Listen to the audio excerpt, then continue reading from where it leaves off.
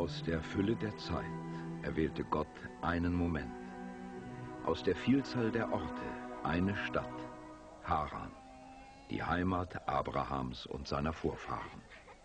Es war eine schattige, fruchtbare Stadt, umgeben von einer brennend heißen Wüste.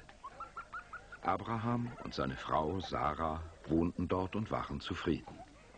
Nur eine Sache betrübte sie. Meinem Vater waren viele Kinder beschert. Ich dagegen habe keine. Nur Sarahs Trauer darüber. Wir haben alles, nur kein Kind. Hier werde ich. Oh. Geh schon, geh zu deiner Mutter. Komm schnell, Mutter. Die Kinder haben dich von Herzen gern, Sarah. Oh, sie lieben uns beide. Aber niemals werden sie dich Vater nennen. Kein Kind wird dich Vater nennen.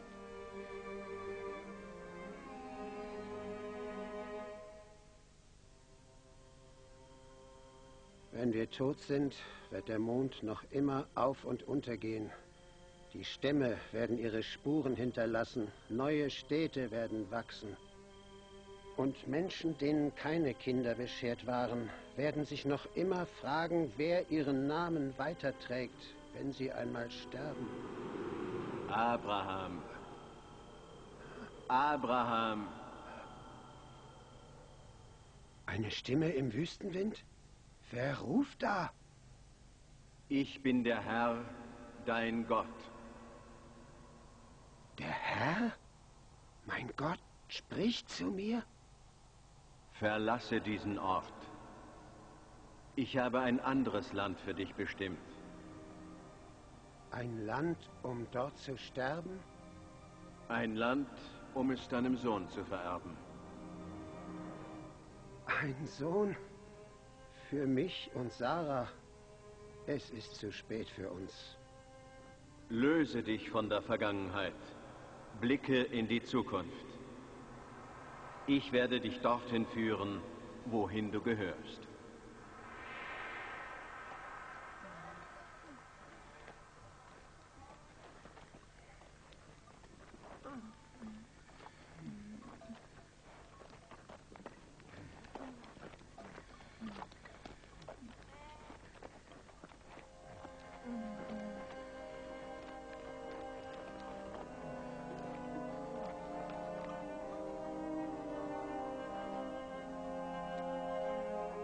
Abraham, Auserwählter, aus deinem Nachkommen wird ein ganzes Volk erwachsen und erblühen.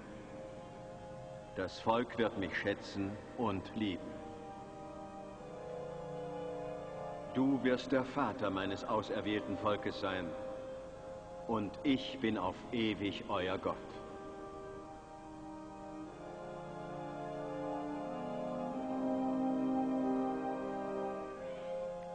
Deine Nachkommen werden diese öde Wildnis bevölkern, so zahlreich wie die Sandkörner unter deinen Füßen. Ich fühle Millionen und Abermillionen Sandkörner unter meinen Füßen, aber keine Kinder. Du weißt, wie sehr wir uns danach gesehnt haben. Jetzt ist es zu spät für Sarah. Deine Nachkommen werden unzählbar sein, wie die Sterne am Himmel und der Staub auf der Erde. Dieses Land ist dir bestimmt.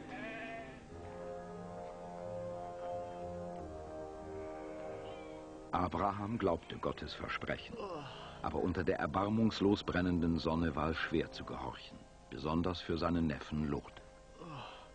Die Menschen verdursten oder werden verrückt. Soll das die versprochene Zukunft sein? Haben wir dafür unsere behaglichen Häuser und unsere blühenden Gärten verlassen? Lot hat recht. Warum führst du uns in diese menschenleere Wildnis? Sarah, Geliebte, ich habe mich schon oft getäuscht, aber diesmal hat Gott zu mir gesprochen. Gott hat entschieden und ich folge ihm. Er weiß, was das Beste für uns ist. Was spricht gegen Wohlstand und Behaglichkeit? Hm? Was soll ich den Schafen erzählen?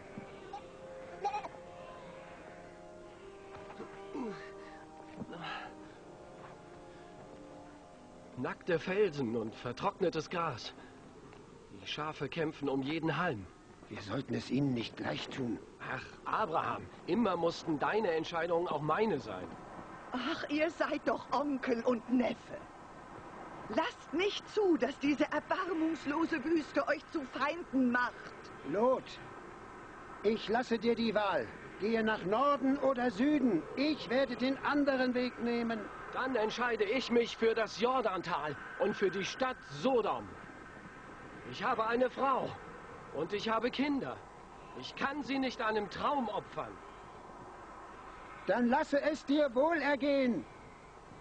Sarah und ich ziehen weiter nach Kanaan.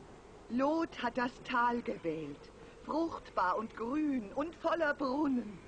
Ach, Abraham, Kanaan ist von der Sonne ausgedörrt und verwelkt. Aber es ist heiliges Land. Es wird einmal unseren Kindern gehören.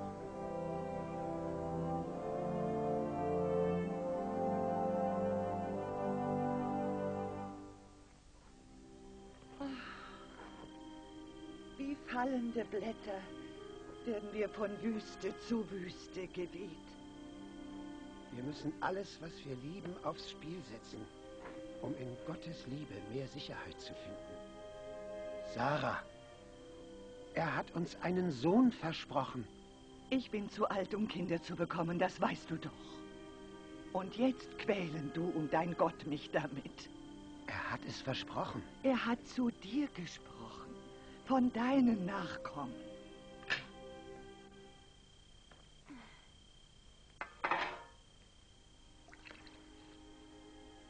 Meine Sklavin, Hagar.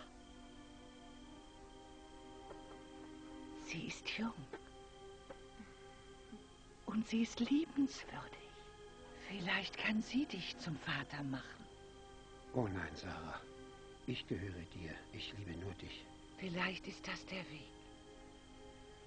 Hagar ist mein Eigentum. Jedes ihrer Kinder wird meines sein. So sieht das Gesetz es vor.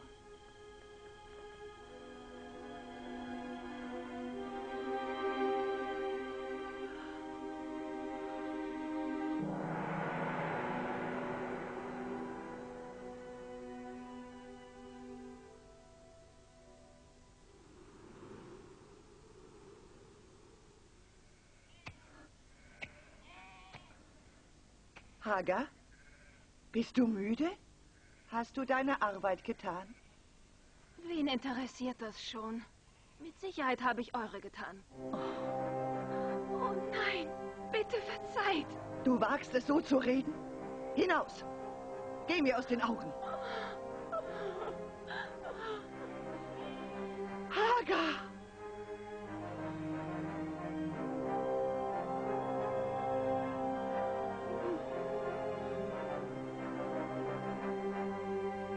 Was hast du getan, Sarah?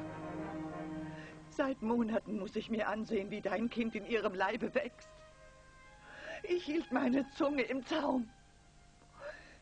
Aber nun habe ich unsere Zukunft hinaus in die Wüste gejagt. Sie muss zurückkehren. Denn wie könnte Gottes Versprechen gebrochen werden?